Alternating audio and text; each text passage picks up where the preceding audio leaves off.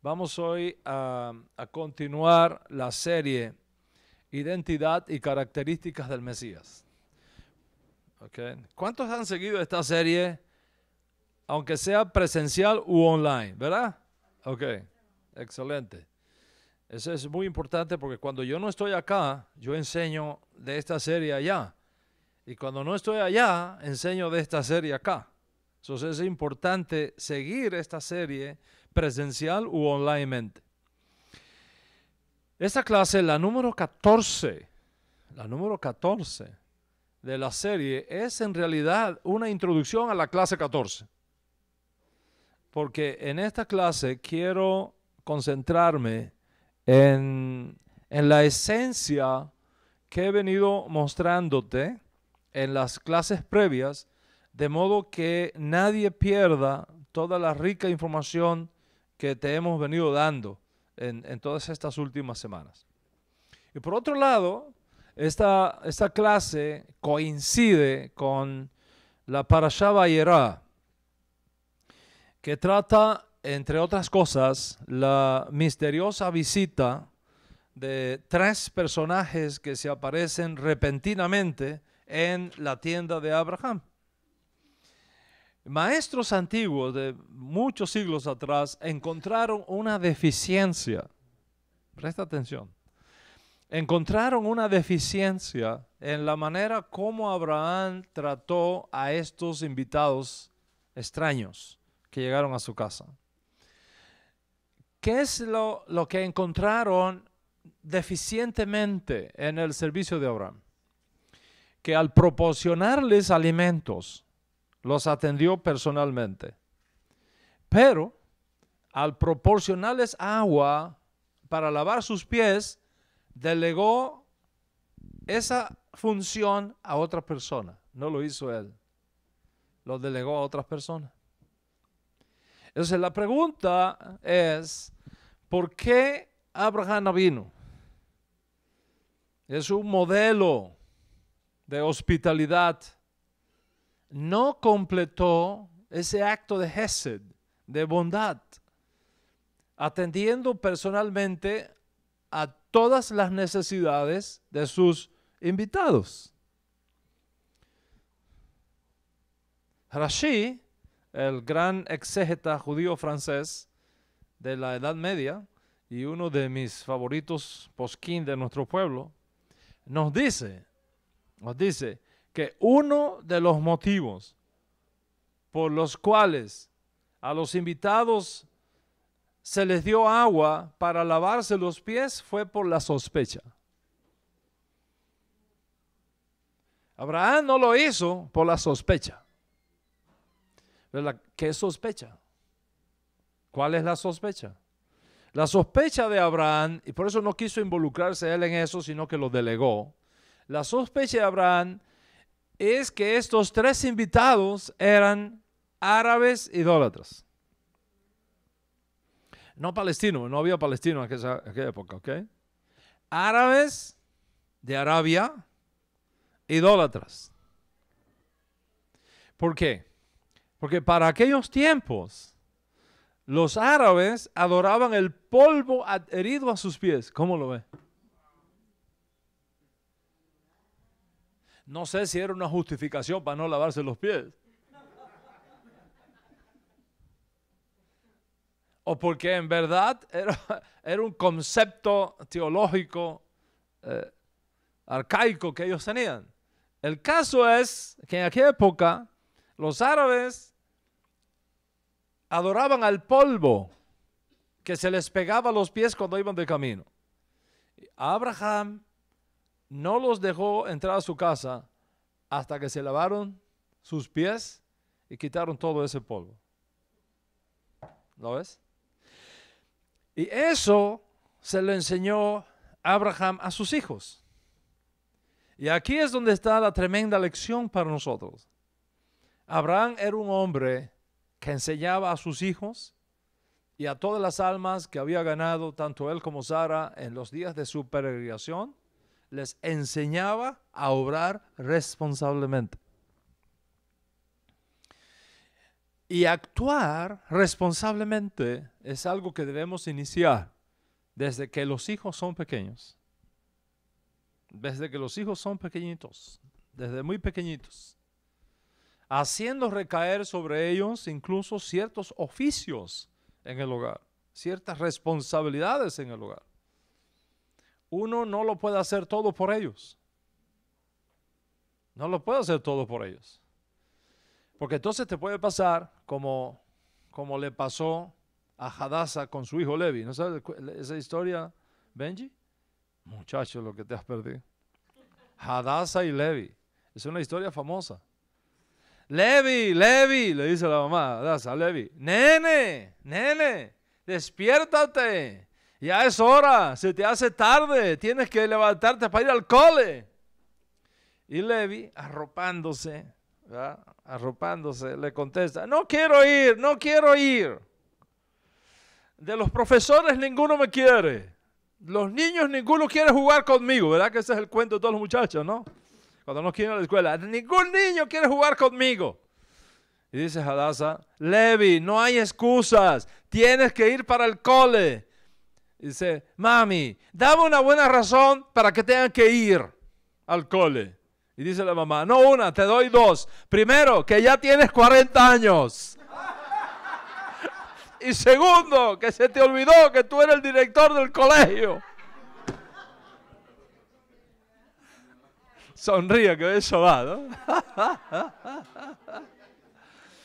Hay que estar alegre siempre, va el ¿Eh? ¿Cómo lo ves? 40 años. 40 años. La mamá tenía que despertarlo todavía para que fuera al cole. ¿Eh? Pues bien, pues bien, y, siendo responsables con la educación de cada uno de ustedes y con la bendición del Eterno, vamos hoy a continuar con la serie Identidad y características del Mesías. Clase número 14. Por supuesto, si esta es la clase 14, preceden a esta clase 13 lecciones sobre este tema. Y espero que cada uno pueda tener acceso a las mismas, porque lo que hoy enseñaré está fundamentado en el contexto de las 13 clases previas. Y volveré a hablar hoy de Mashiach, que es uno de mis temas favoritos. ¿Ok? Mashiach. Los otros días viajaba con, con mi linda esposa Vivi en el coche hacia casa y comenzamos a hablar de varias cosas. Y entre las cosas salió esta conversación y ella me preguntó, ¿cómo quieres que te recuerden las generaciones venideras cuando ya tú no estés entre nosotros? ¿Cómo quieres que te recuerden? Y sin pensarlo dos veces, le dije, como uno que alzó su voz para buscar las ovejas perdidas de la casa de Israel, y como uno que alzó su voz para mostrar la mesianidad de Yeshua a nuestra generación. Y uno de los aspectos más extraordinarios, más extraordinarios, que tendrán lugar en los últimos días, de los días del fin, que nos han alcanzado, será ver la manera como el Eterno va a mostrar a nuestro noble pueblo judío la identidad de Yeshua ben Yosef, nuestro santo maestro. Vivimos en un tiempo de restauración. De restauración de todas las cosas de las que hablaron nuestros ancestros, nuestros mayores.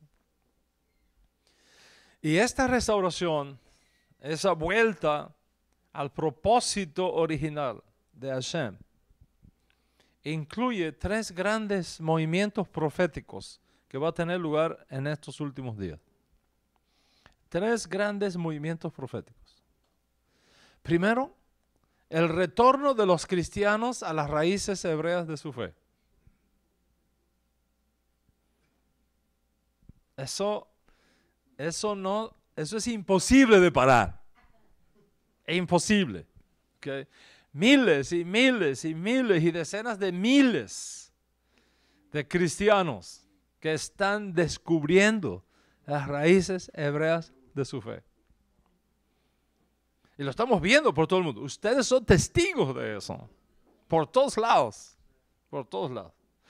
Basta haber estado anoche en, en la reunión, ¿verdad? En la reunión de New Jersey, que viera el hambre que hay. Aquella mesa donde yo estaba, tenía varios pastores y pastoras allí, líderes, no paraban de hacer preguntas. De hacer preguntas. Y preguntas inteligentes. Preguntas inteligentes. El retorno de los cristianos a las raíces de su fe. En otras palabras, se acabó el tiempo cuando se va a poder seguir manipulando a los cristianos y, escondiéndoles, escondiéndoles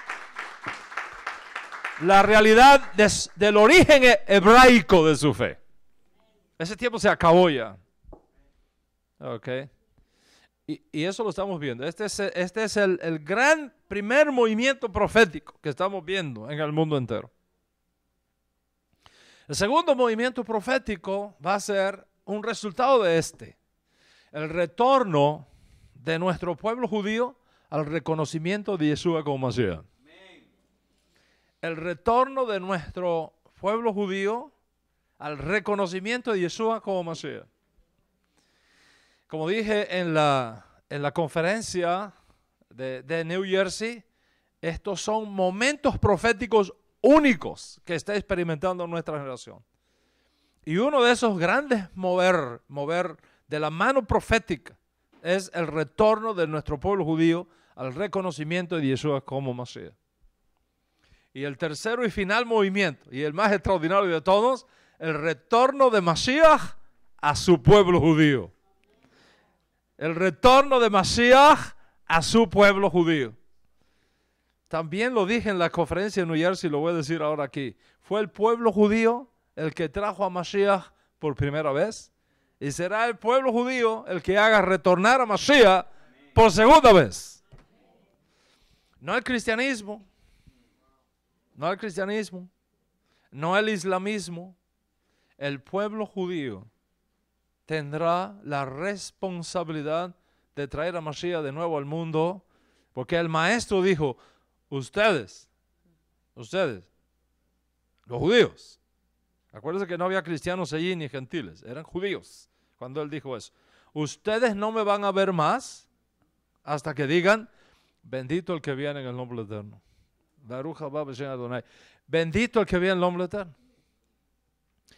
Y luego luego de ser expuesto como un falso profeta que, intentó desviar a, nuestro pueblo de, su fe, como un pseudo maestro que vino para declarar abolida la Torah, como un abominable líder que rompió con la fe de sus padres y que separándose del judaísmo creó una nueva religión en este caso el cristianismo, y su hijo postizo, el islamismo que vino después, divorciado y opuesto a la fe de nuestros mayores, después que se ha dicho todas estas cosas de Yeshua, y que se está quemando en el infierno, en una olla de excremento ardiendo, y todas esas barbaridades que han dicho de él, los días han llegado.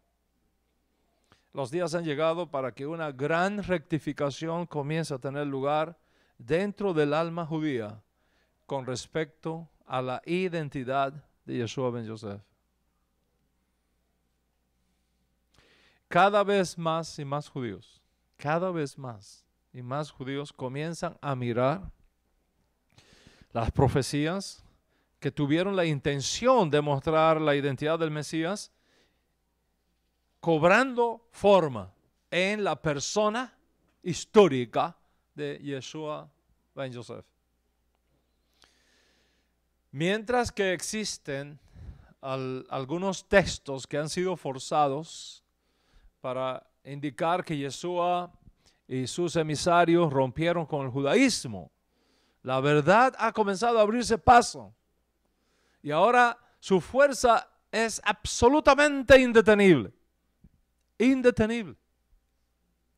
Un antiguo rabino hablando de la redención final de Israel, lo expresó así. Y voy a citar Se voy a citar este Midrash de Shir Hashirim. Dice así, se ha dicho que Rabille y Rabí Shimeón un día caminaban por el valle de Arbelá en la mañana y contemplaban la aurora que anunciaba la llegada del día. Entonces Rabille habló diciendo, así será la redención de Israel. Al principio solamente una apariencia será visible, luego se hará más evidente y solamente después será manifestada con toda su gloria. Estamos en la segunda etapa, vía la tercera. Con la manifestación de Mashiach ben Joseph se, se, iniciaron en Israel y en el mundo los días de Mashiach. Los días de Mashiach. Con la conquista de Jerusalén, la redención de Israel ha sido hecha evidente, marcando así la entrada a la última etapa de esta redención, que es la manifestación de Mashiach en su gloria. ¿Cómo va a tener lugar? ¿Cómo va a tener lugar el reconocimiento de nuestro noble pueblo judío en relación a la identidad de Yeshua ben Yosef? ¿Cómo va a ser eso? Revisando las escrituras, y las enseñanzas de nuestros sabios, va a ocurrir. Presta mucha atención a que estoy combatiéndote. Va a ocurrir que de pronto todo Israel se va a dar cuenta que la única persona que califica para cumplir los pronósticos proféticos será Yeshua ben Yosef. observa que todos los que se han levantado diciendo ser el Mesías han terminado en un fiasco. Todos han terminado en un fiasco. Ya expliqué esto en clases pasadas. Y la razón del fiasco no es la mala intención de estos fallidos Mesías. No es la mala intención de estos fallidos Mesías. La razón del fiasco es porque ya pasó el tiempo exigido por los profetas para la aparición de Mashiach. Ya pasó el tiempo, el contexto histórico. Entonces, si Yeshua no es aceptado como Mashiach, todos los que vendrán han venido y vendrán después diciendo que son algo, va a terminar en un fiasco. El último fiasco ocurrió aquí, atrás de nosotros, a unas cuadras de aquí. Cuando mil rabinos ortodoxos, mil rabinos ortodoxos, declararon al Rebes Nirsom, séptimo rebe de la dinastía Lubavitch, el Mesías de Israel. El problema es que al rebe le dio un derrame cerebral y finalmente en junio de 1994 murió. Sin concluir su obra mesiánica. ¿Cómo reaccionaron estos mil rabinos ortodoxos cuando ven que el rebe, que ellos esperaban que era Mashiach, se muere? Dice, va a resucitar. ¿Alguna conversación interna ellos tuvieron con el rebe antes de él morir? Que causó que ellos dijeran, va a resucitar. Y se fueron todos para Jerusalén. Se fueron todos. Porque supuestamente allá iba a aparecer el rebe, resucitado. Para ellos entonces introducirlo al pueblo judío como Mashiach. Han pasado 23 años y el rebe Snirson sigue en la tumba. Pero ni aún estos fiascos son sin sentido. Escúchame, ni aún estos fiascos son sin sentido. Porque todo está a última hora en las manos del Eterno. Y todos estos fiascos, ¿sabe qué va a pasar? Todos estos fiascos van a ser usados por Hashem para irle mostrando a nuestro pueblo que no importan las tremendas calificaciones de los que han venido, todos al final fallan. ¿Y por qué fallan? No porque no tengan la, la buena intención. Fallan porque las condiciones históricas para que aparezca Mashiach ya fueron dadas y ya pasaron. Y entonces es ahí, en ese contexto de frustración tras frustración, que el alma judía va a recibir esta gran iluminación que va a llevar a reconocer que el único que realmente califica para esa posición es aquel profeta anunciado por Moshe para la redención completa y total de nuestro pueblo, Yeshua HaMashiach. ¿Cuántos están conmigo aquí? All right. ¿Cómo evidencia, como evidencia de ese cambio de mentalidad que está teniendo lugar en nuestro pueblo acerca de Mashiach, les voy a mostrar algunas opiniones de sabios judíos modernos, incluyendo rabinos ortodoxos, sobre Yeshua. No son judíos tontos, no son judíos iletrados, estúpidos, como afirman por ahí los aborcionistas de la redención, que los únicos judíos que creen que Jesús es Masías son iletrados, que no conocen de Torah, etc. No, estoy hablando de gente ilustrada, mentes ilustres, posiblemente las mentes más avanzadas de nuestro pueblo. Y les voy a dar algunas opiniones. Primera, escuche esta.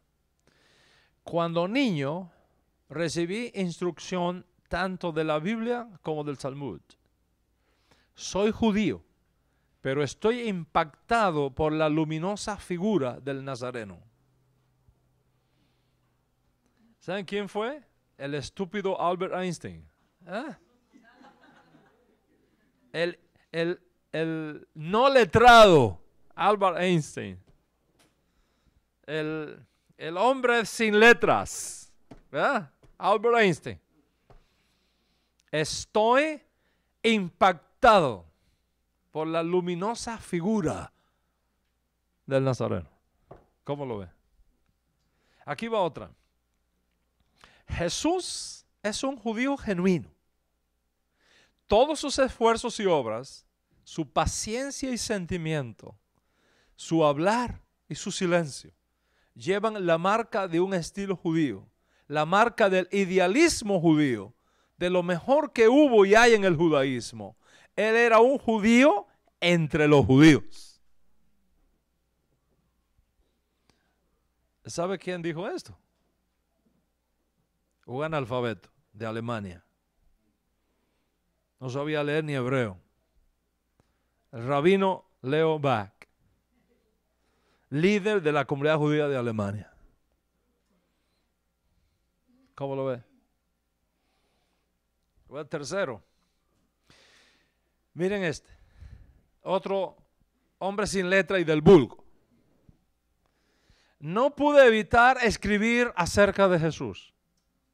Desde que supe de él, ha tomado mi mente y mi corazón. Vacilé un poco al principio yo buscaba ese algo que muchos de nosotros buscamos. Esa certeza, esa fe, ese contentamiento espiritual en mi vida que me daría paz y por medio de la cual yo podría llevar paz a otros. Lo encontré en el Nazareno. Todo lo que él dijo o hizo tiene valor para nosotros hoy en día. Y esto es algo que no se puede decir de ningún otro hombre, vivo o muerto. Él ha llegado a ser la luz del mundo. ¿Por qué un judío no debería estar orgulloso de él? Shalom Ash, autor y novelista alemán. ¿Cómo lo ve? Le voy a presentar este cuarto, esta cuarta opinión. Es una peculiar manifestación de nuestra psicología del exilio el que hayamos permitido y aún ayudado la censura del mesianismo neotestamentario, esa significativa rama de nuestra historia espiritual. Fue en la tierra judía en donde fue encendida esa revolución espiritual. Y fueron judíos quienes la esparcieron por toda la tierra. Debemos superar el miedo supersticioso que albergamos acerca del movimiento mesiánico de Jesús y debemos ponerlo en donde pertenece, en la historia espiritual del judaísmo. ¿Sabe quién fue? Nada menos que Martin Buber, catedrático de la Universidad Hebrea de Jerusalén. Otro estúpido. Otro Amha Aretz. ¿Cómo lo ve? Voy a darte una quinta opinión. Dice así. Jesús era judío y lo fue hasta su último aliento. Su única idea era implantar dentro de nuestra nación el concepto de la venida del Mesías y por medio del arrepentimiento y las buenas obras acelerar ese final. En todo esto, Jesús es el más judío de todos los judíos, más judío que Gilel de Babilonia. Desde el punto de vista de la humanidad en general, Él es sin duda una luz para los gentiles. ¿Sabes qué? Otro catedrático de la Universidad Hebrea de Jerusalén, Joseph Klausner.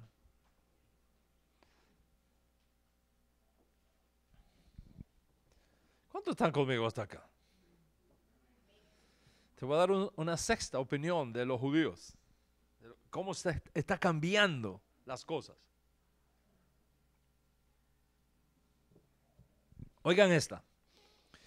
Jesús se ha convertido, Jesús se ha convertido en la figura religiosa más popular, más estudiada y más influyente en la historia de la humanidad. Ningún judío sensato puede ser indiferente al hecho de que un judío tenga tan grande parte en la educación y dirección religiosa de la raza humana. ¿Quién puede estimar todo lo que Jesús ha significado para la humanidad? El amor que ha inspirado, la paz que ha dado, el bien que ha engendrado, la esperanza y alegría que ha encendido, todo ello no tiene igual en la historia humana. Un judío no podría evitar enorgullecerse de lo que Jesús ha significado para el mundo, ni podría evitar esperar que Jesús aún pueda servir como un puente entre judíos y cristianos, una vez que sus enseñanzas se conozcan mejor y el escollo del malentendido de su mensaje sea por fin removido de sus palabras y de su ideal. Esto lo dijo un analfabeto de, por allá, de, las Islas Vírgenes, que no sabe ni leer ni escribir. ¿Qué te parece? Rabino Himan Enlo, expresidente de la Conferencia Central de Rabinos de los Estados Unidos de América.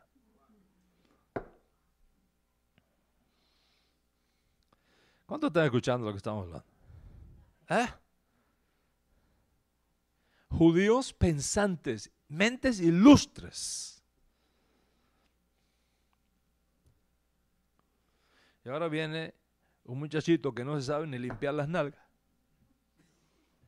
a hablar mal de Jesús.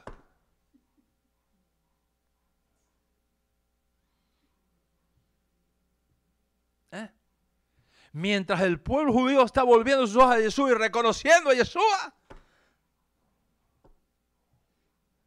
tú venirte con esa bobería. ¿Me explico? Le voy a dar otro más. Escuchen esto. Ni la protesta cristiana, ni la lamentación judía, ni la protesta cristiana, ni la lamentación judía pueden anular el hecho de que Jesús era judío. Un hebreo entre hebreos. Ciertamente no es inapropiado que Jesús sea reclamado por aquellos quienes nunca lo han negado de manera unánime ni organizada, aunque con frecuencia negado por sus seguidores. El que Jesús no deba ser tanto apropiado por nosotros como asignado al lugar de la vida e historia judía, que es por derecho suyo. Jesús no solo era un judío, sino que era el judío, el judío de los judíos.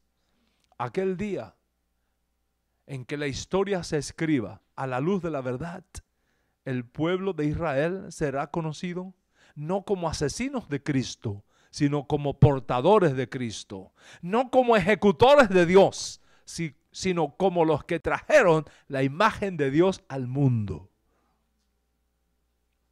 El rabino Stephen Weiss, líder, fundador, sionista del Instituto Judío de Religión en Israel. ¿Ah? ¿Cómo lo ves?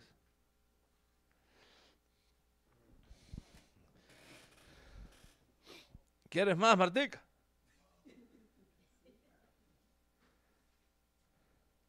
¿Cómo lo ves?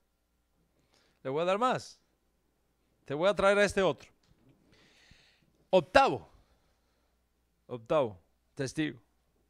Jesús fue absolutamente fiel a la Torah, como espero serlo yo mismo. Sospecho aún que Jesús fue más fiel a la Torah que yo, un judío ortodoxo.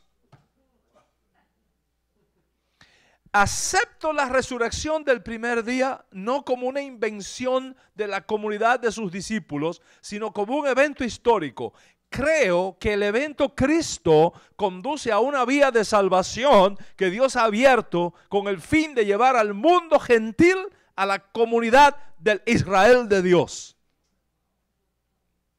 ¿Sabe quién fue este? Pinchas la pide. O Pinjas la pide, si queremos pronunciarlo dentro de ese contexto. Maestro de judaísmo, judío ortodoxo. ¿Cómo lo ves? ¿Quieres más, Benji? ¿Ah? Te he dado ocho. Te voy a dar otro más. Por si acaso alguien tiene duda. Y dice, no, eso es coincidencia.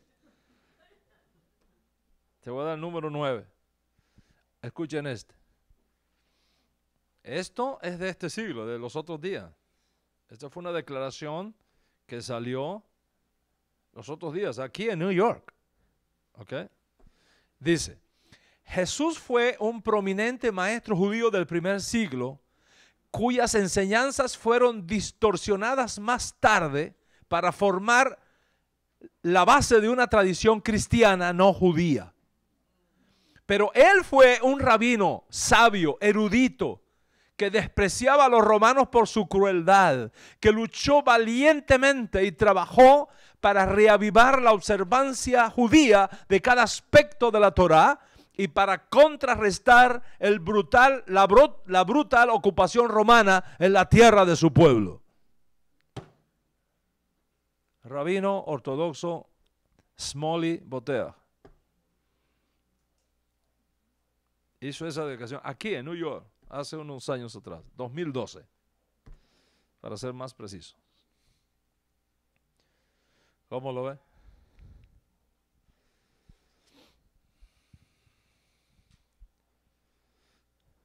Les he presentado nueve opiniones, nueve opiniones de sabios judíos, no de ingenuos e ignorantes, como algunos dicen por ahí, de sabios judíos modernos que han revisado sin prejuicios la vida de Yeshua y llegaron a esas conclusiones. Por supuesto que puedo, darte más. Puedo darte más. Pero lo he dejado exprofesamente en nueve opiniones solamente. Solamente nueve. ¿Por qué? Por la parasha de hoy. Por la parasha de hoy.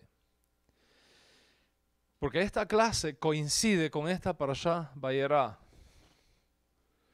y en esta clase, en esta parasha Bayera, Abraham intercede por 50 justos.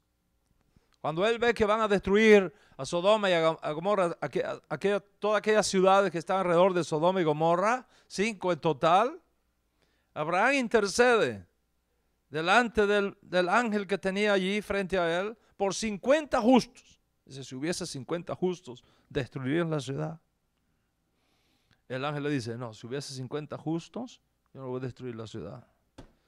Pero tal vez no hay 50. Y va bajando, 40. Y tal vez no hay 40, 30. Si hubiera 30, no voy a destruir la ciudad. 20. Abraham, si hubiese 20 justos, no voy a destruir la ciudad. 10. ¿Qué tal si hubiese 10?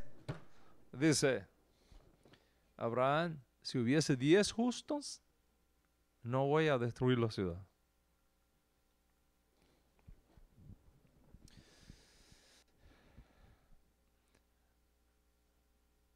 Así que va bajando la expectativa.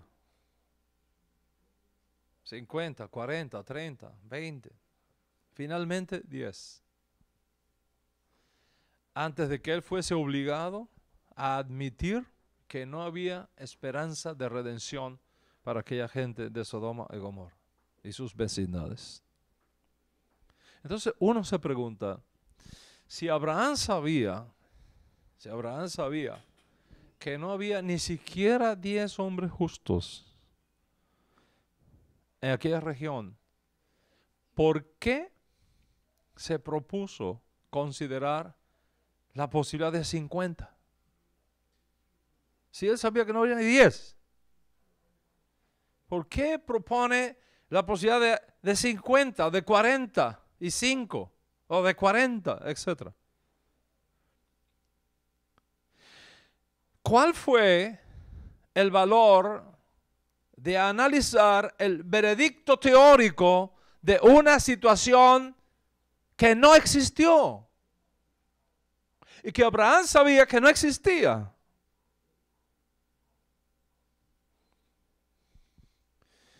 Aparentemente, cuando las condiciones en Sodoma empeoraron, y la inmoralidad descendió más allá de todos los umbrales de la crueldad y la depravación. Muchas personas que tenían anteriormente cierto grado de respetabilidad, ahora fueron barridos en ese espíritu de engaño y destrucción. Mientras que pudieron existir 50 hombres honorables, en la ciudad, a la vez, en poco tiempo ya había 45. Y ese número fue disminuyendo. Y cada vez menos y menos personas vivían por sus convicciones. Cada vez más y más y más eran arrastrados por el modo de vivir de la mayoría. De hacer lo que todo el mundo hacía de dejarse influenciar por la conducta pecaminosa de la mayoría. Ese espíritu se pegó también. Y de 50 bajó a 45, a 30. 10. Incluso ni siquiera se pudieron ya encontrar 10.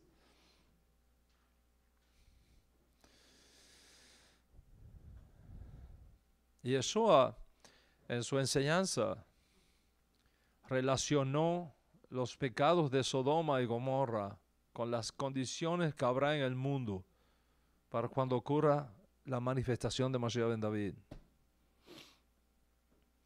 Y es exactamente la condición que nos encontramos ahora en el mundo, incluyendo aquí en New York. Nuestra generación se dirige hacia una caída cataclísmica, catastrófica.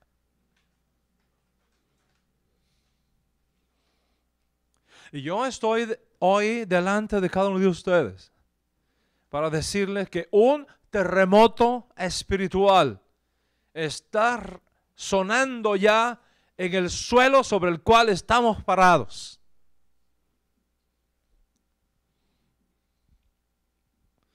Incluyendo las sinagogas judías, incluso ortodoxas, se ve un decaimiento por los compromisos de la Torah.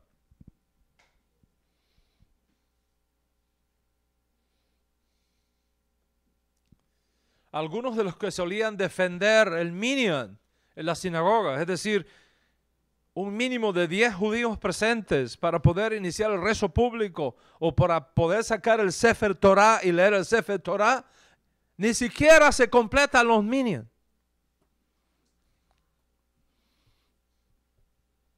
Mientras que otros cada vez, cada vez menos y menos y menos guardan el Shabbat. Y encuentran mil razones para estar ocupados en Shabbat.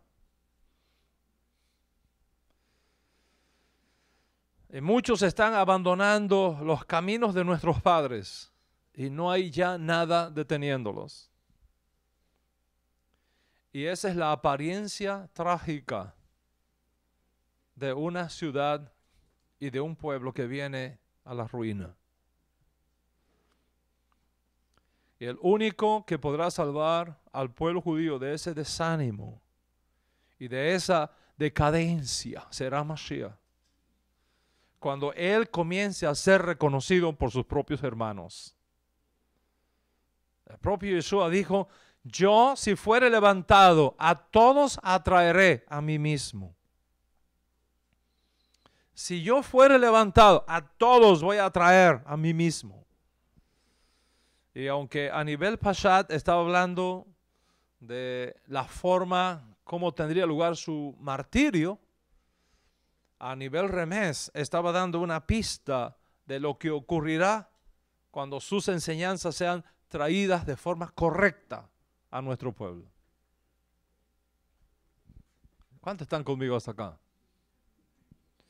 Así que mencioné nueve opiniones, nueve opiniones de sabios judíos modernos sobre Mashiach. Y dejé el número ahí, sin llegar a diez. Porque espero que al final de esta serie el Minion se complete contigo. Y una gran luz sea visible desde la comunidad judía para todo Israel.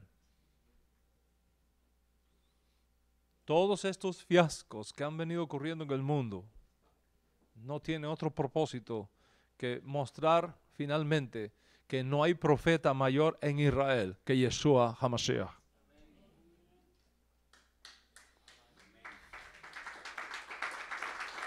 No lo hay. Yeshua HaMashiach. Rabino Shaul, hablando de Mashiach, dijo lo siguiente, y cito, por tanto, hermanos, participantes del llamamiento celestial, consideren al apóstol de nuestra profesión, Masías Yeshua, el cual es fiel al que le constituyó, como también lo fue Moshe en toda la casa de Dios. Porque de tanto mayor peso que Moshe es estimado digno este, cuanto tiene mayor honra que la casa, el que la hizo. Porque toda casa es hecha por alguno, pero quien hizo todas las cosas es Dios. Y Moshe, a la verdad, fue fiel en toda la casa de Dios como siervo, para testimonio de lo que se iba a decir. Pero Mashiach como hijo sobre su casa, la cual somos nosotros, si retenemos firme hasta el fin la confianza y el gloriarnos en la esperanza. Por esta escritura sabemos que Mashiach es el emisario del Eterno como lo fue Mosé, como lo fue Mosé, confirmando así todas las promesas que han sido hechas a los padres. Pero también aprendemos que Mashiach es un emisario diferente a Mosé que ha sido un ejemplo de virtud dentro de la fe de nuestro pueblo Israel. Yeshua fue diferente. ¿Y en qué fue diferente? ¿En qué fue superior? Que ha sido exaltado por encima de Moshe Rabén. Así pues, si la gloria y el honor concedida a Moshe Rabeno fue grande, ¿cuánto será más grande el honor y la gloria de Mashiach? Y por lo tanto, Yeshua HaMashiach es merecedor de mayor dignidad, de mayor respeto y de mayor reverencia, incluso que Moshe Rabeno.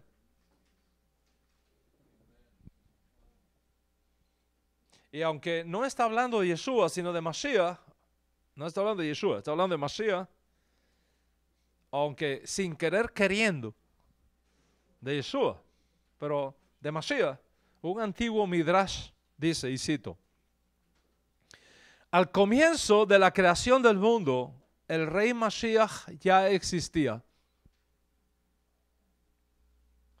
Esto no está diciendo Agustín de Hipona. ni Epifanio. ¿Ok? Está diciendo un rabino judío, un sabio de Israel. Al comienzo de la creación del mundo, el rey Mashiach ya existía.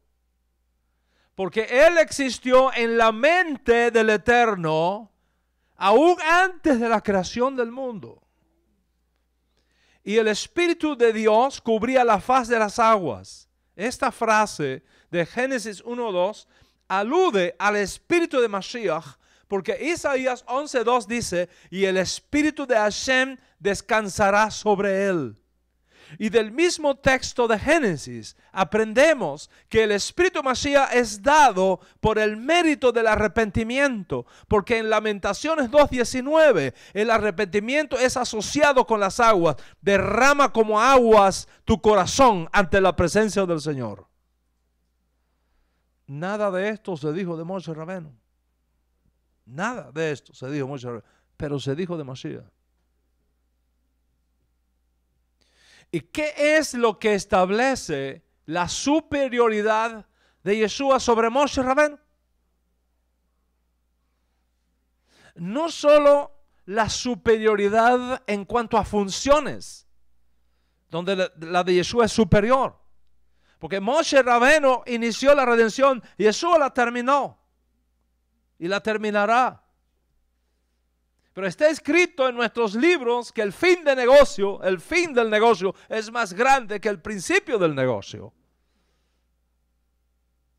Y eh, incluso entre nosotros, en el, en el mundo del deporte, especialmente el atletismo, en las carreras de relevo, de 4 por 100, de 4 por 200, de 4 por 800, ¿a quién se pone de último? Al mejor, al mejor atleta del equipo. Ese tiene que ser el último, el que supera todas las, las, las pérdidas de tiempo de los anteriores. No solamente la superioridad en cuanto a funciones, Jesús es superior, sino también la superioridad en cuanto a relación. Porque Jesús es visto como hijo de la casa mientras que Moshe es visto como siervo de la casa. Así que aun cuando ambos actuaron como siervos fieles, Yeshua es siervo hijo, mientras que el segundo es un siervo entre los siervos. Y así como el hijo que sirve es un siervo como el resto de los siervos de la casa. No obstante, el siervo no queda para siempre. En jubileo, él toma su camino. Pero el hijo no se va en jubileo. El hijo siempre se queda en su casa para siempre. Y de esto afirma el Midrash. Y cito, la soberanía de Mashiach será más elevada que la de Moshe Rabeno. La Gemara enseña. ¿Todo el mundo sabe qué es la Gemara? Estoy asumiendo que saben, porque de esto hemos hablado en otras ocasiones. Pero por si acaso, déjame explicarlo, básicamente. ¿Ok? La Torah oral no se escribe, se enseña. Por eso se llama Torah Shebealpe, Torah oral. Es decir, la explicación de la Torah. Moshe Rabeno nos dejó la Torah escrita, pero no explicó cómo se hacían ciertas cosas. Ese cómo se hace, cómo se guardan los mandamientos, fue dado oralmente de rabino en rabino, así, etcétera, etcétera, de tradición en, tradición. Después de la destrucción del segundo templo, Yehuda Hanasí, un gran rabino, discípulo del rabí Gilel, del rabí, eh, perdón, uh, Akiva, que a su vez fue estudiante del rabí Yohanan Ben Sakai, viendo que el exilio judío estaba dispersando a los judíos por todos lados, la Torah oral, estas tradiciones que, hemos mantenido en nuestra secta farisea, se puede perder. Mejor la escribo. Y llamó a todos los estudiantes que tenía, empezó a escribirle, escribió la Mishnah. Todo el mundo trajo ahí lo que recordaba, lo escribió. Luego los sabios de Babilonia dijeron, hay cosas en la Mishnah que necesitan corregirse porque no están claras. Y empezaron a discutir y a clarificar conceptos de la Mishnah. Y de ahí surge la Gemara. La suma de la misma más la Gemara es el Talmud. ¿Estamos? Ok. Les enseñé en un minuto lo que costó siete siglos. Ok. So, espero que, espero que lo tengan en la, cabeza. ok. All Dice así. Vuelvo otra vez. Dice la soberanía de Mashiach será más elevada que la de Moshe Rabenu. La Gemara enseña que Mashiach juzgará por el sentido del olfato, donde a un rey solamente se le permite juzgar según las referencias de los testigos. Mashiach tiene superioridad aún sobre Moshe Rabenu sobre la frase con la cual comienza la Torá y el Espíritu de Dios se movía sobre la faz de las aguas. Los sabios han dicho, esto alude al Espíritu de Mashiach. Y donde el verso continúa sobre la faz de las aguas, esto sugiere un nivel más alto que el de Moshe, quien fue llamado así porque fue sacado de las aguas. Mashiach será más grande que Moisés, porque él revelará dimensiones más profundas de la Torá.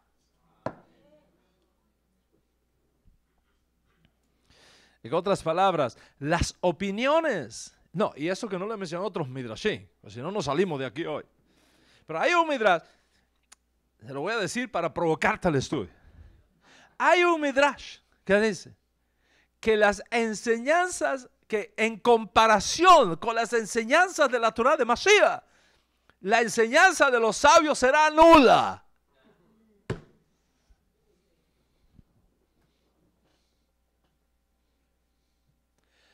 Y dice el Midrash, Mashiach será más grande que Moshe porque él revelará las dimensiones más profundas de la Torah. A mí me maravilla que los propios sabios judíos estén diciendo esto y los que siguen a Yeshua quieren estudiar Gemara y no les hace Yeshua. ¿Eh? ¿Cómo lo ves? Los propios maestros talmúdicos dicen, la enseñanza más profunda es la que viene de Mashiach. Y los que siguen a Mashiach quieren estudiar las menos profundas.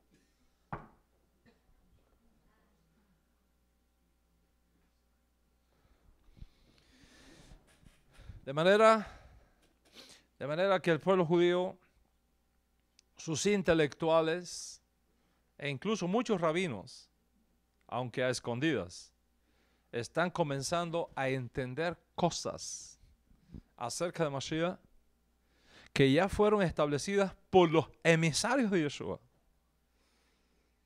Mostrando así que Yeshua es quien dijo quién era el Mesías de Israel.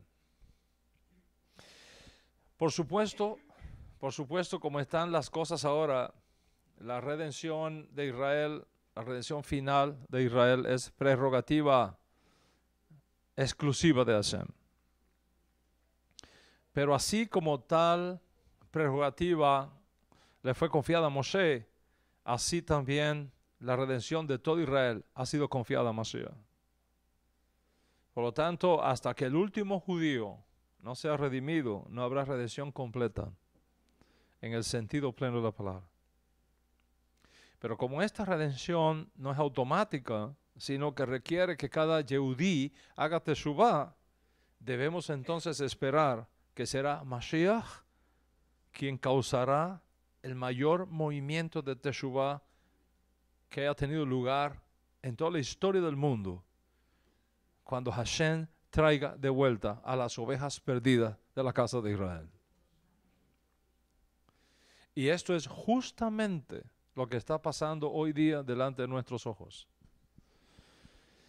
Como decía al comienzo de la clase, cada vez son más los cristianos que abandonan el cristianismo.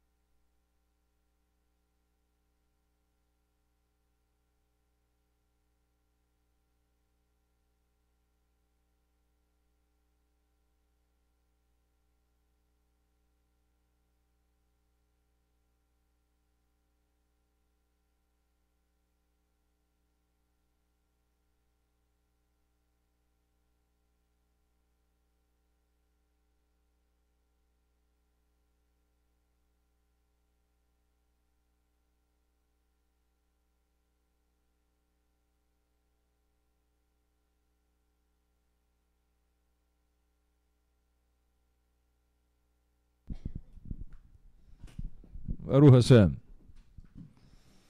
Ok. Cada vez más cristianos, católicos, pentecostales, wesleyanos, reformados, bautistas, carismáticos, de sana doctrina, adventistas, ¿Eh? Testigo de Jehová.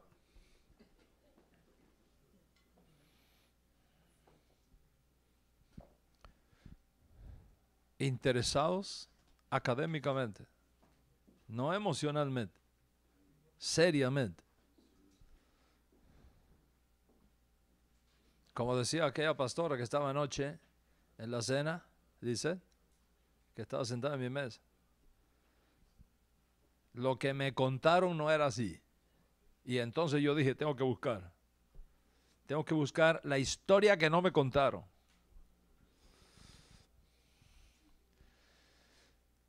Aprendiendo cómo servir al Dios de Israel.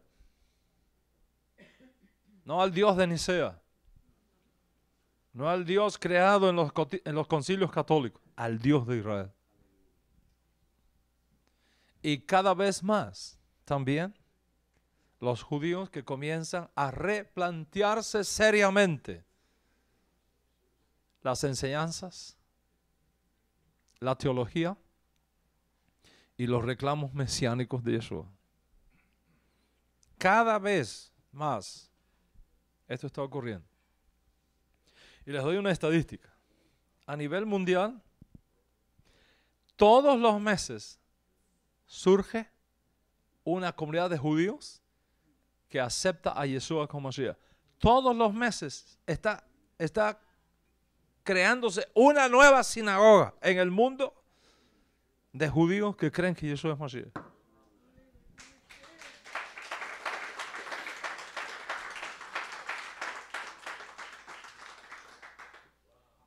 Y esto nos dice que muy pronto Mashiach retornará de nuevo a nuestro pueblo para bien de Israel y para bien del mundo. Como ves, el tema de Mashiach no es una idea extraña al judaísmo, es la esencia misma del judaísmo. Es uno de los asuntos más importantes del judaísmo. Y por eso te he dicho, y lo repito de nuevo, un judaísmo sin Mashiach no es realmente el judaísmo que nos legaron Moshe y los profetas. Y lo he dicho y lo repito de nuevo. La misma, la misma de creer en el Mesías y esperarlo cada día es tan importante y más que estudiar las leyes de Shabbat, que estudiar las leyes de Kashrut, que estudiar las leyes del rezo, que estudiar las leyes de la amidad, que estudiar las, las, leyes del ciclo festivo de la Torah, que estudiar las leyes del sionismo, que estudiar las leyes de la santidad familiar, del musar, etcétera, etcétera. Y es por eso, Es por eso, Morán Rabotai, que el tema de Mashiach no debe aburrirnos. No debería cansarnos. Y aun cuando en lo relacionado a, a su posición como Mashiach está equivocada, las enseñanzas del Rebbe Nilsson son extraordinarias. Y todos nosotros somos testigos del esfuerzo que él hizo por traer al pueblo judío a la conciencia de la hora de redención final que había llegado para Israel y para el mundo. El tremendo esfuerzo educacional que hizo para traer conciencia de Mashiach al pueblo judío. Y vivía de campaña en campaña sobre el tema de Mashiach. Hasta que un día uno de los que más le aportaba dinero, un banquero grande de aquí de Nueva York, se cansó un poco de que el Rebe Snirso nada más que hablaba de Mashiach, nada más, campaña de Mashiach, Mashiach, Mashiach, y se estaba aburriendo. Y un día le pidió una, una cita. Las citas del Rebe eran de un minuto. Me tenía mucha gente que ver. So, si usted si, a usted su jajam le da una cita de media hora, siéntase feliz. El rebe daba un minuto y menos. No tenía tiempo para más. Pero como este era un amigo del círculo íntimo, como Benji, le pide una cita. Le dice, sí, claro, venga. Banquero, uno de los que cada vez que venía era un millón de dólares un poquito menos que lo que Benji aporta, pero...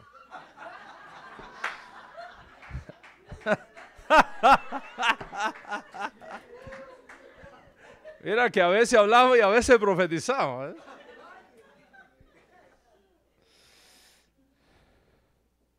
¿eh? Porque los otros días me preguntaron eh, en un lugar que estaba, Rabino, queda hacer una pregunta. ¿Se puede jugar a la lotería o no? Bueno, quédese para el almuerzo después, que ahí vamos a hablar de, de ese tema. Como este hombre que aportaba mucho, pues el rebe le quiso también agradecer, so, le dio una, una entrevista privada, larga. Y ese hombre, con la confianza que tenía con el rebe Snirso, le dijo, rebe, ¿No cree usted que es demasiado estar hablando tanto de Mashiach, de Mashiach, de la redención? ¿Por qué no cambia el tema? Estamos como un poco aburridos de lo mismo. Ahora otra campaña más. Pues yo estoy dispuesto a aportar y todo, pero ¿no cree usted que deba cambiar? Dice el rey.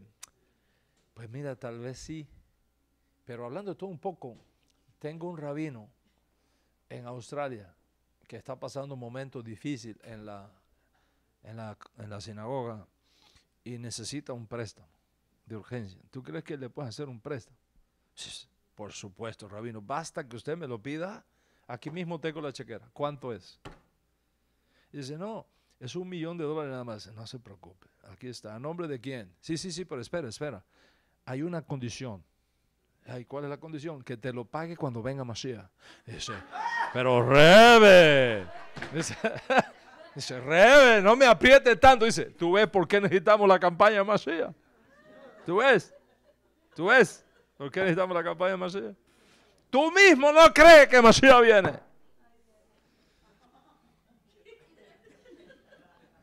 ¿Eh? El, el, el tema de Mashiach no debe aburrirnos, no debe cansarnos. Todo lo contrario, debería ser la fuente máxima de expectación, de dinamismo de fe, de la energía que necesitamos para guardar los mandamientos confiados que el Eterno, por uno de esos mandamientos que tú cumplas, puedes tocar un sensor espiritual que traiga a Mashiach de vuelta. Ahora, si tú quieres que este mundo siga como va, de mal en peor, y que sigan viniendo terremotos y que sigan los atentados terroristas y que siga la maldad y que siga creciendo el mal y que siga, que siga robándose el alma de nuestros hijos y que esto siga de mal en peor, de mal en peor, de mal olvídate Mashiach. Porque el único que va a parar esto es Mashiach.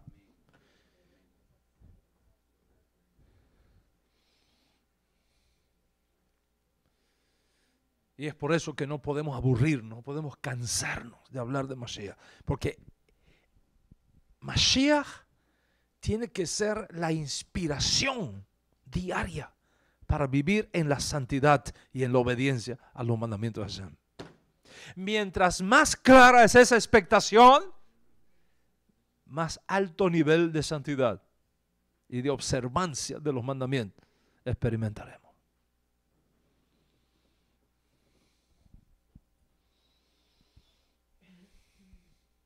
¿Cuánto entiende lo que estamos hablando?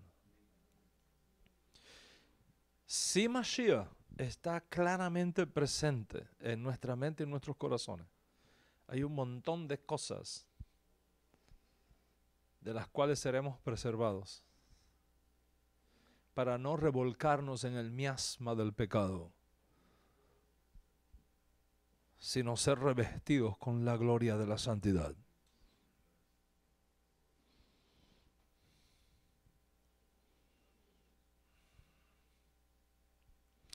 Como el rabino, que tenía un discípulo empresario que fue a dar un viaje a Europa por dos semanas, solo. El rabino estaba preocupado por él, que no fuera a caer en alguna tentación en el camino. Y le dijo, antes de hacer tu viaje, pasa por la oficina para darte una verja. El, joven empresario vino, el rabino lo bendijo y lo envió al viaje. Cuando ya estaba para salir de la oficina, le dice, Levi, Levi, ven acá, ven acá. Cuando estés allá en Europa, quiero que busques el mejor queso kosher que se vende allá en Holanda y me traigas un pedazo. Ah, rabino, por supuesto, valga. Ok. El hombre fue, hizo el viaje, vino, y cuando llega va a visitar al rabino. Y dice, gracias por la verajá, el viaje fue un éxito, cerré los negocios que iba a hacer en Holanda, y bueno, una bendición del cielo, Baruch Hashem. Y después que le contó todo, le dice el rabino, ¿y me trajiste el queso? Y dice, ay, se me olvidó el queso. No se preocupe, que el mes que viene yo voy y le prometo que ahora sí se lo traigo. El rabino le dijo, estate tranquilo, yo no necesito queso. Yo consigo ese queso aquí. Pero te lo dije por una simple razón. Para que cuando fueras en tu viaje te acordaras que acá tu rabino se quedó esperando lo mejor de ti. Para que no peques contra Dios. La esperanza, la memoria del rabino que está esperando lo mejor de ti, tiene que ser el cerco de protección para no pecar. ¿Me entiende lo que estamos hablando? Como Joseph en Egipto, dice el Midrash, ¿qué fue lo que protegió a Joseph de caer en los brazos de aquella mujer? Que lo buscaba todos los días para arrastrarlo a su cama. Dice el Midrash, lo que aguantó a Joseph para no pecar fue que cada vez que se acercaba a esta mujer, la figura de su padre, enseñándole Torah, lo protegía. Dice, yo no puedo hacerle eso a mi papá. Si la imagen de Mashiach está clara en nuestra mente, si el concepto de Mashiach, si todos estos temas de Mashiach están claros en nuestra mente, va a ser un cerco de protección para que en este momento tan crítico de la historia no le falle a Dios. No des razón alguna para que por causa de ti sea escandalizada una generación. Que por satisfacer un deseo personal que se pasa con el tiempo, comprometa el honor de aquel que todos estamos esperando. Por eso que el tema Mashiach no puede aburrirnos. Y en esta serie sobre identidad y características del Mesías, yo he venido enfatizando estas dos cosas. Enfatizando estas dos cosas. Primero, que la Torah habla del Mesías, de su propósito. Que el propósito final de la Torah es el, es Mashiach, buscar a Mashiach. Y que es una responsabilidad que se impone sobre todos nosotros. Y la segunda cosa que he venido enfatizando en esta serie es la importancia de tener un modelo correcto para la identificación de Mashiach.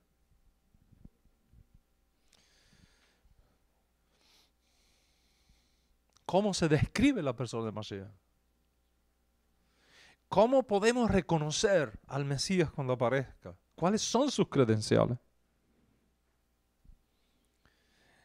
Y les he enseñado que existen dos modelos o criterios para determinar la identidad de Mashiach. Uno, un modelo propuesto por el judaísmo netzarita que representamos en esta casa, y otro modelo propuesto por el judaísmo talmúdico representado en la, en la secta judía que nos trajo la Mishnah y la Gemara. Y según el modelo Netzarita, el Mesías debe realizar dos funciones. Primero, una función sacerdotal como Mesías que sufre y muere para expiar los pecados de los hijos de Israel, como fue anunciada por Daniel, por los profetas. Y segundo, una función monárquica, como un Mesías que surge de la muerte y que implanta luego la edad mesiánica, también anunciada por Daniel y los profetas. Ese es el modelo netzarita que seguimos en esta casa. Pero existe también el modelo talmúdico, que es diferente. El que afirma que el Mesías Ben David, el Mesías invicto, es el único Mesías que deberíamos esperar proveniente de la casa de David que va a tener realmente una sola función, la monárquica, por la cual va a restaurar el reino de la casa de David y el que va a traer una edad nueva al mundo, donde se va a eliminar la idolatría, las guerras, las enfermedades, etc. Esos son los dos modelos.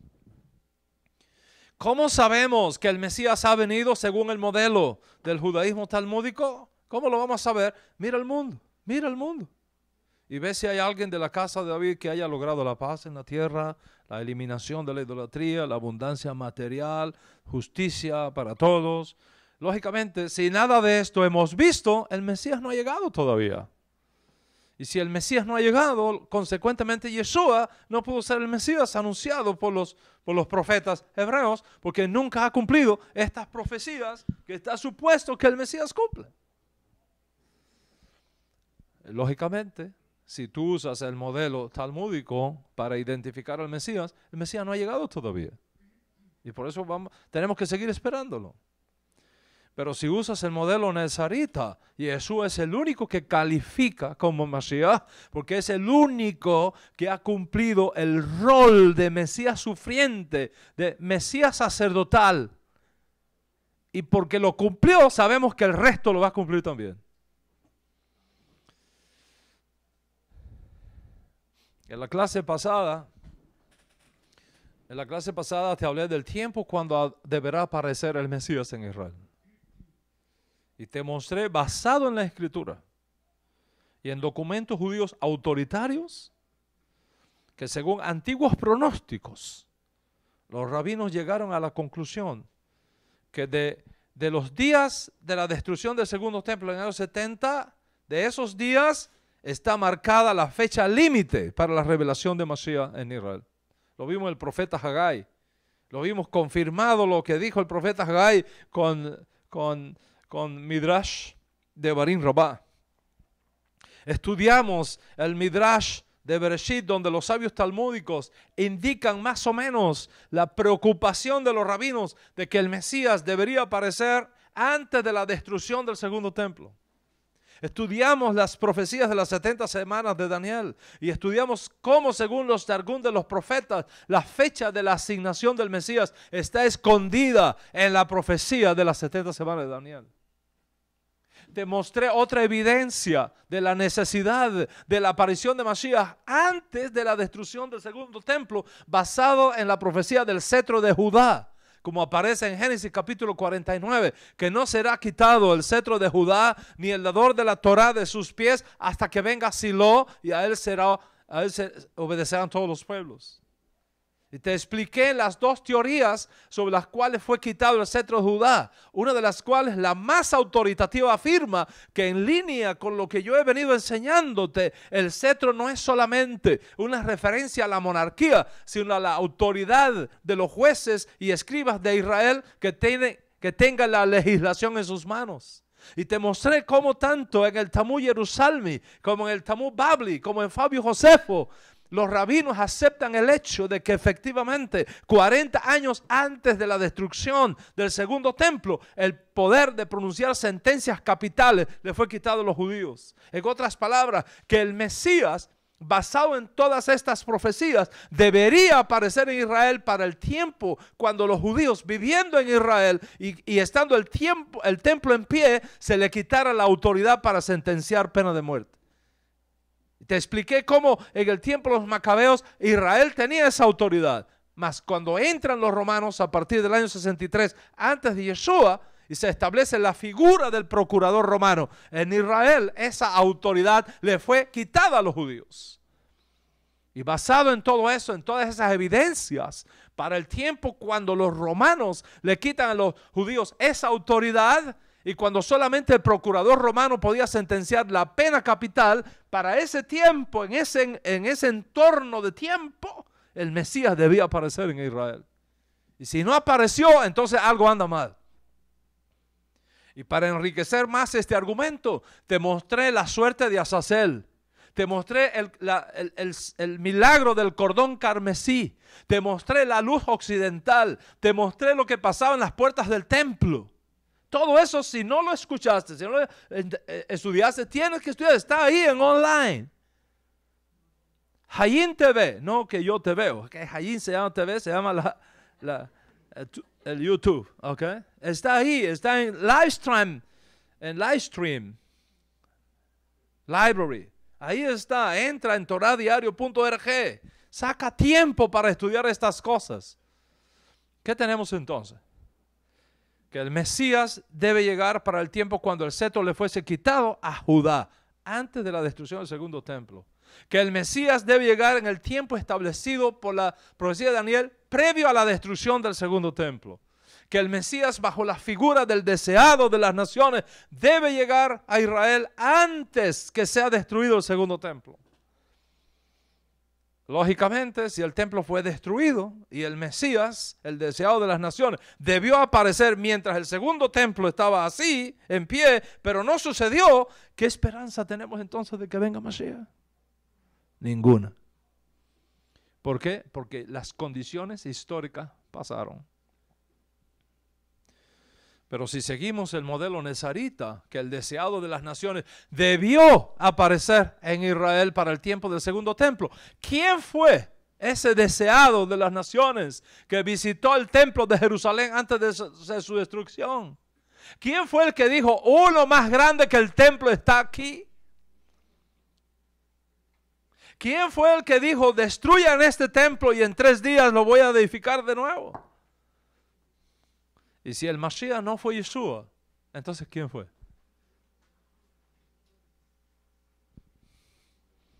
Y en la clase pasada te mostré, usando fuentes judías y exclusivamente judías, que hay un consenso en el judaísmo acerca del tiempo de la aparición del Mashiach. Y ese consenso establece que el Mesías debió aparecer en algún momento previo a la destrucción del segundo templo. Lógicamente, el único candidato a Mashiach que aún hoy día reclama el trono de David y que cumple con este criterio de los tiempos para la revelación de Mashiach es Yeshua. Independientemente de si lo aceptas o no lo aceptas. tendrás que llegar a la conclusión de que nuestra posición no es sacada del aire, que se fundamenta en pilares demostrables y confiables, es decir, que tenemos en qué apoyarnos. Pero esto nos llevó a una misteriosa pregunta. ¿Es el Mesías que aparece antes de la destrucción del segundo templo? ¿El Mesías que sufre y muere? ¿El mismo Mesías Ben David que deberá aparecer después para completar su rol mesiánico anunciado por los profetas? ¿O es otro Mesías diferente al primero?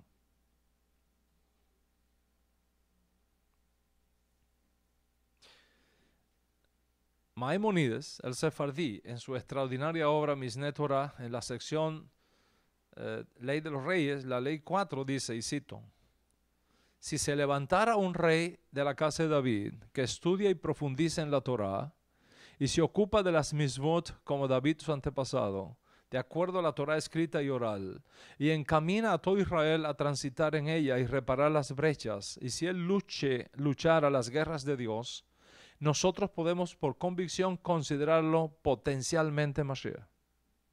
Potencialmente Mashiach. Si él tiene éxito en lo anterior, reconstruye el templo en su sitio, reúne la diáspora de Israel, él es definitivamente Mashiach. Y por lo tanto perfeccionará el mundo entero para servir a Dios unidos como está escrito en los profetas. Si él no tuviera éxito a este grado o él fuese matado, él no es ciertamente el redentor prometido por la Torá y debe ser considerado como todos los otros reyes apropiados y legítimos de la dinastía de David que murieron. Y Hashem no lo estableció, sino para probar a muchos, como está escrito, algunos de los sabios tropezarán para purgar, refinar y para clarificar hasta el tiempo designado para el que todavía tiene que venir. Básicamente, básicamente, Maimonides afirma que cualquier aspirante a Mesías que muere sin completar la totalidad de su rol mesiánico no puede ser considerado Mashiach ben David. Tan simple como eso.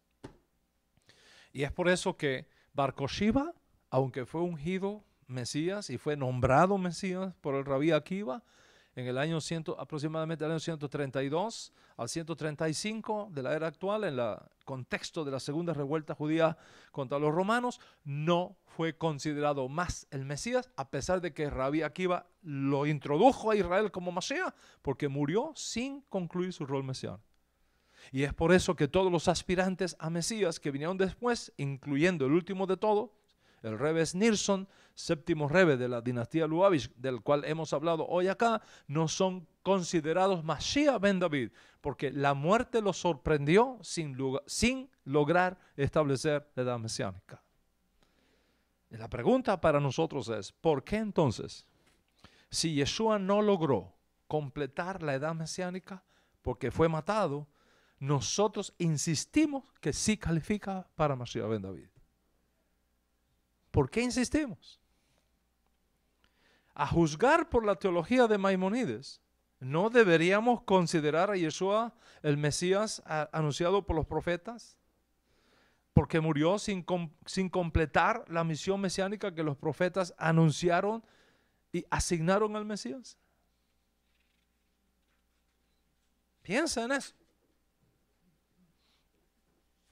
Todos los problemas que yo tengo con la comunidad judía ortodoxa y todos los ataques que recibo de todos lados, incluyendo de aquellos que un día se sentaban a comer conmigo, viene por mi testadurez de seguir insistiendo que Yeshua califica para ser Mashiach. El día que yo me pare frente a estas cámaras y diga, señores, he pensado bien esto, he estudiado bien el tema. Jesús fue un gran maestro, fue un gran rabino, pero no completó su rol mesiánico y por lo tanto no debemos considerarlo ya Mashiach. Me dan el premio Nobel del judaísmo.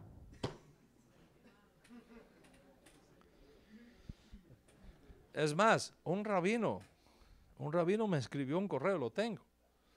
Me dijo, en sus manos está el más grande ticún de esta generación cuando usted públicamente diga que Yeshua es un buen maestro, pero no el Mesías. Al momento que usted diga eso, las puertas están abiertas para usted. Mire, es fácil, ¿verdad, Margarita? Bien facilita. Ahí tiene. Fácil. Oye, pero este es un cabezón. Testarudo. No da su brazo a torcer. Es un egoísta, un orgulloso. No tiene suficiente humildad. Él lo sabe, pero no lo dice porque imagínate cómo va a decir después de estar 25 años enseñando eso ahora, venir a retractarse. Eh, el, orgullo es muy grande. No sé, ningún orgullo. Ningún orgullo. Es que tengo en que apoyarme. Oye, es que yo también pienso, Pamo. ¿Qué te pasa? Es que yo también estudio, es que yo también leo, es que yo también me ilustro. Y no me dejo que me laven el cerebro, como a ti. ¿Me entiendes?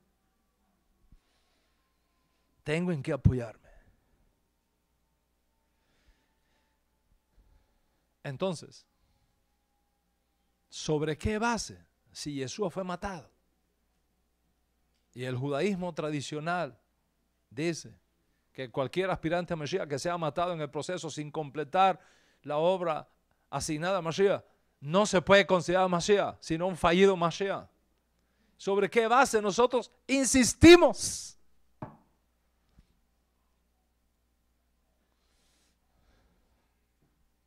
¿Por qué?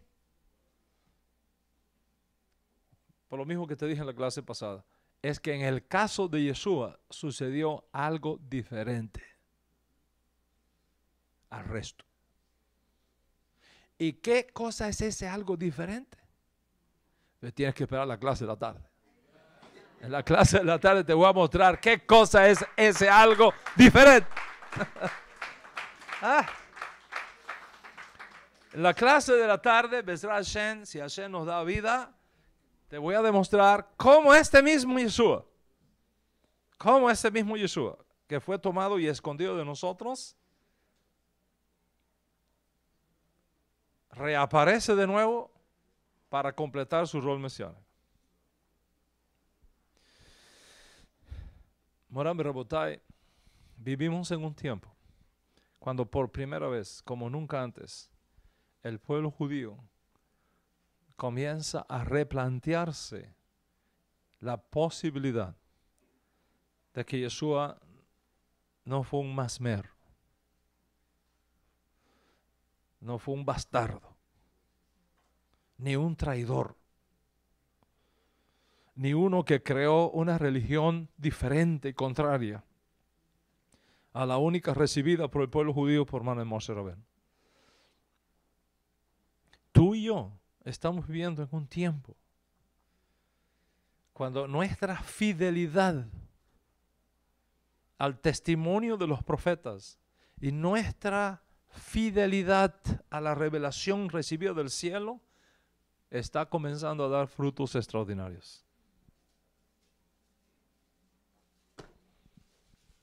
Y hoy, cuando tomes tu sobre con tu macer, con tu ofrenda, con tus primicias, y lo entregues aquí o lo envíes online, aquellos que lo envían online. Hazlo con esta convicción.